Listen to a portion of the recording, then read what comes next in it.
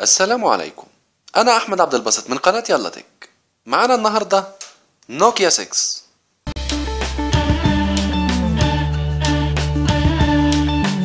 ورجعنا لكم بفيديو جديد والمرة دي من شركة نوكيا. التليفون اللي معنا النهاردة هو نوكيا 6 جهاز يعتبر من الفئة المتوسطة ال mid range. جهاز محترم جدا من شركة نوكيا. هنخش على طول في التفاصيل. يلا بينا.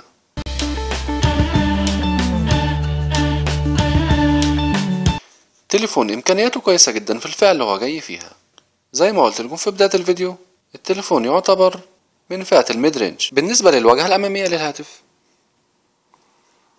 فتوجد سماعة المكالمات وبجوارها الكاميرا 8 ميجا بكسل. بالإضافة إلى شعار نوكيا ويوجد على يسار سماعة المكالمات ضوء الإشعارات ال LED أما بالنسبة للجهة اليسرى للهاتف فموجود درج الشريحة وكارت ال memory ال SD card. وطبعا واضحة سماكة الجهاز. جهاز نحيف جدا يا جماعة. سمك الجهاز 8.4 ملم أما الجهة اليمنى للهاتف فيوجد زرار ال power وأزرار رفع وخفض الصوت. والأزرار كلها مش بارزة عن جسم الجهاز. وصعب التمييز بينها. ولكن مع الوقت ممكن الأمور تكون أسهل في التمييز بين الأزرار. من الجهة الخلفية للجهاز يوجد شعار نوكيا في المنتصف.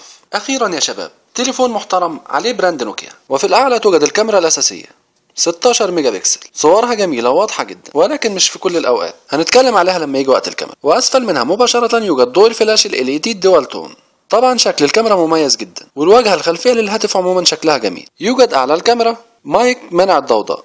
وفي أسفل الهاتف موجود شوية بيانات ومعلومات عن الهاتف. في أطراف الجهاز من الأعلى والأسفل موجود شريط الأنتنة عشان الشبكة. الجهاز من الأعلى موجود فتحة 3.5 مللي. برافو نوكيا قدرت تحافظ على فتحة ال 3.5 مللي ال headphone jack. ومن أسفل الجهاز يوجد فتحة ال micro USB الخاصة بشحن الهاتف ونقل البيانات والمعلومات. موجود على يمينها السماعة الخارجية بالإضافة إلى المايك الأساسي. أما بالنسبة لمواصفات الجهاز هنبدأ بالشاشة. الشاشة من نوع سي دي 5.5 inch full HD 1080 في 1920 بكسل. بكثافة بكسلات 403 بكسل لكل إنش. يعني تعتبر كثافة البكسلات متوسطة. أما بالنسبة لوزن الهاتف وزن الهاتف 169 جرام. وأبعاده 154 ملم للطول و75.8 ملم للعرض. أما بالنسبة للسمك فبيكون 8.4 ملم أبعاد الجهاز مرضية جدا. الجهاز بالكامل من المعدن. والشاشة بارزة قليلا عن جسم الهاتف. وتأتي بتقنية 2.5D يعني الشاشة بتكون منحنية قليلا من الأطراف. الجهاز يدعم شريحتين. ويدعم 4G LTE والشريحتين في وضع الاستعداد. أما بالنسبة للكاميرا لحظة لحظة. ما تعديش حاجة من غير ما تفهمها. شريحتين في وضع الاستعداد يعني لو معاك مكالمة وحد اتصل بيك هيديله مشغول. مش جرس زي بعض التليفونات الصيني. okay تمام. نخش على اللي بعده. الكاميرا. الكاميرا الخلفية 16 ميجا بكسل. فتحة عدسة f 2.0 وبها auto focus و flash LED مزدوج dual tone. وبتصور حتى full HD 1080p والرقم اللي هو 2.0 ده كل ما يقل كل ما توسع فتحة العدسة. يعني كمية الضوء اللي داخلة الحساس الكاميرا أكبر. وبالتالي الصورة بتكون أفضل. أما بالنسبة للكاميرا الأمامية فبتيجي ب 8 ميجا بكسل. فتحة عدسة f 2.0 وبتصور أيضا 1080p full HD والشاشة بتعمل فلاش عشان تساعد الكاميرا في التقاط صورة جيدة. أما بالنسبة للذاكرة الداخلية 32 جيجا بايت وال RAMات 3 جيجا بايت. ويمكن توسعة الذاكرة الداخلية بكارت memory حتى 256 جيجا بايت. ولكن على حساب شريحة من الاتنين حط الموضوع ده في دماغك. الجهاز للأسف لا يدعم USB Type-C ولكنه يدعم Micro USB ويدعم أيضا خاصية ال OTG أما بالنسبة للبطارية هقولها لك تاني. ركز كويس. خاصية OTG يعني توصل فلاشة أو كارت memory عن طريق وصلة صغيرة اسمها وصلة ال OTG تقدر من خلالها تشوف محتوى الفلاشة أو كارت ال memory اللي انت وصلته بالتليفون. تمام كده؟ تمام كده. نخش على اللي بعده. البطارية. البطارية تأتي بقدرة 3000 ملي أمبير. ولا تدعم الشحن السريع للأسف. أداها متوسط. بس في عيب خطير هنا.